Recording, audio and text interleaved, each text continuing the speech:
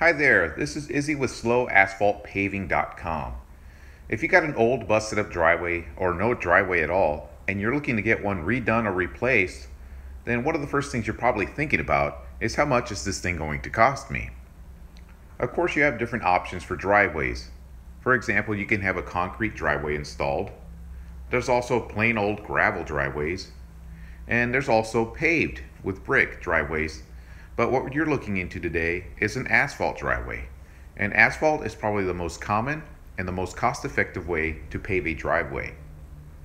It's actually pretty simple to figure out how much a driveway is going to cost you. All you have to do is to go outside and measure out your driveway. Most asphalt paving companies will charge you by the square footage of the driveway. So as you can see here in this quick example, let's take a look at uh, how we measure one of these things out.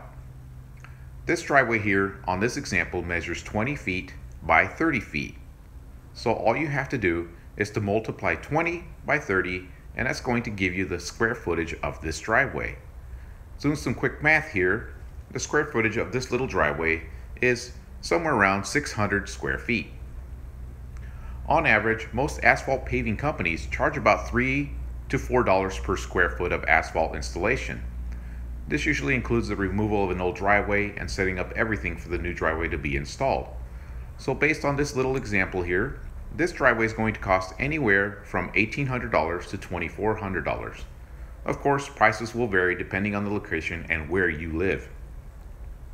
But again, it's pretty simple to figure out just how to give yourself a rough estimate of how much your driveway, your new asphalt driveway is going to cost you.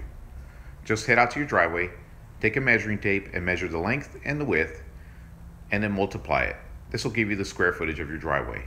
Then you simply multiply the square footage by, by 3 to 4, and that's going to give you a ballpark and a rough estimate of how much your asphalt driveway is going to cost you.